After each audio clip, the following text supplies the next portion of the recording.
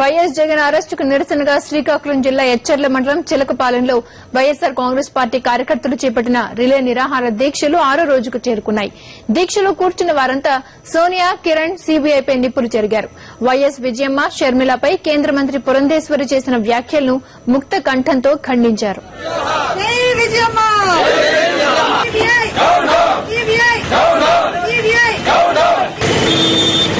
రామారావు కూతురుగాను రాజకీయ ఆరంగేట్రం చేసి రామారావు దేన్నైతే వ్యతిరేకిస్తారు అదే కాంగ్రెస్ పార్టీలోకి వచ్చి పదవులు సంపాదించి నీ వ్యక్తిగత సౌలభ్యం కోసం పదవుల కోసం కక్కుతపడి తండ్రి ఆత్మను ఘోషించి తమిళ మానసంగా హింసించినట్టు నువ్వు ఈరోజు రాజకీయాల కోసం జగన్మోహన్ రెడ్డి కోసం మాట్లాడే అర్హత లేదు. కబద్దారు పురంధరేశ్వరి గారు మాలాంటి